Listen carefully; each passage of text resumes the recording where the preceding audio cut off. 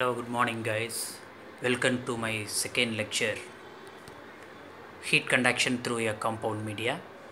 There are uh, two modes of operation when compound media is concerned one is series, another one is parallel.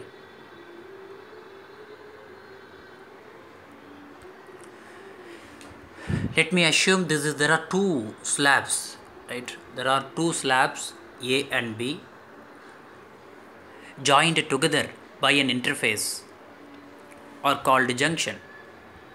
Let the heat flows from heat flows from the end A to the end B via the interface.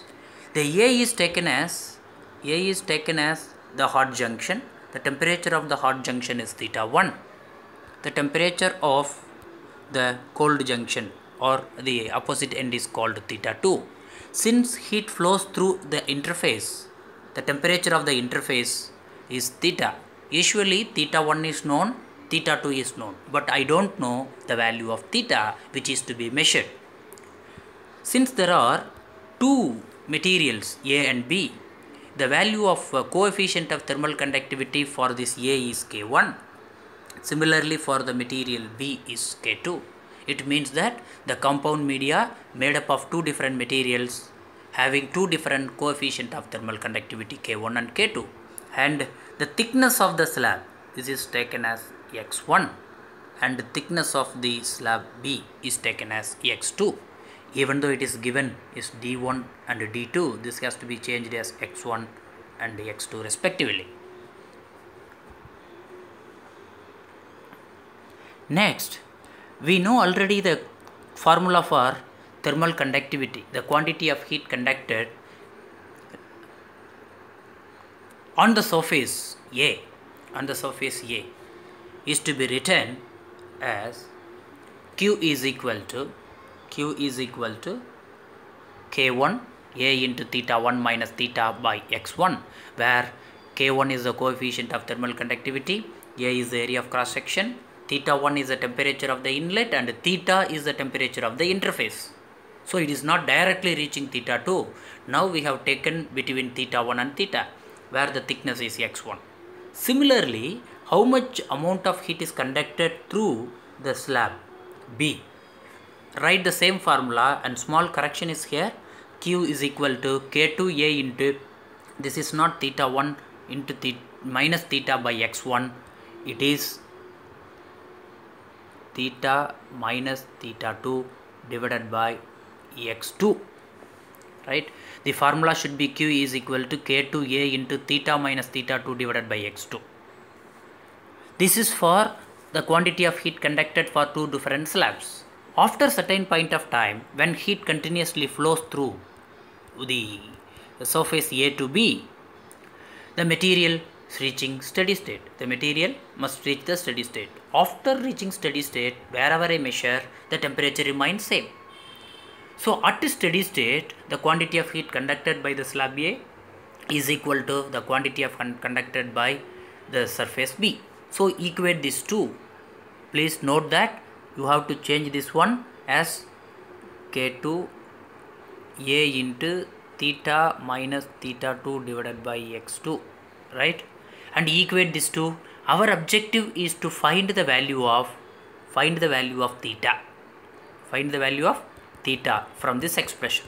So the final expression theta will be k1 of this one. k1 theta 1 x2 plus k2 theta 2 x1 divided by k2 x1 k1 x2 now what i am going to do is substitute the value of theta in this expression 1 right so this expression becomes now this expression becomes this one.